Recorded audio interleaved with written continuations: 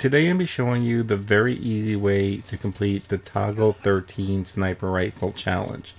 So if you're playing on an easy difficulty, I actually have it on right now on easy for the purpose of this video.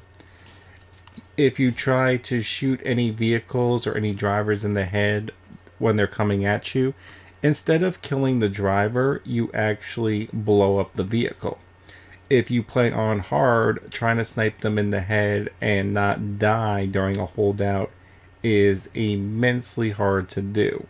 What is insanely easy to do is that. Whenever you see an armored car, just shoot them in the head. You only get like a little bit of notoriety if you do that. If you don't actually blow up the armored car, you won't get much notoriety and then you can just leave the area and go to another area. So every time you see an armored car, and I think there are more in the Marshall district, I'm not 100% positive on that. Um, but yeah, every time you see an armored car, just go over there real quick if it won't fail your mission and pop the dude in the head.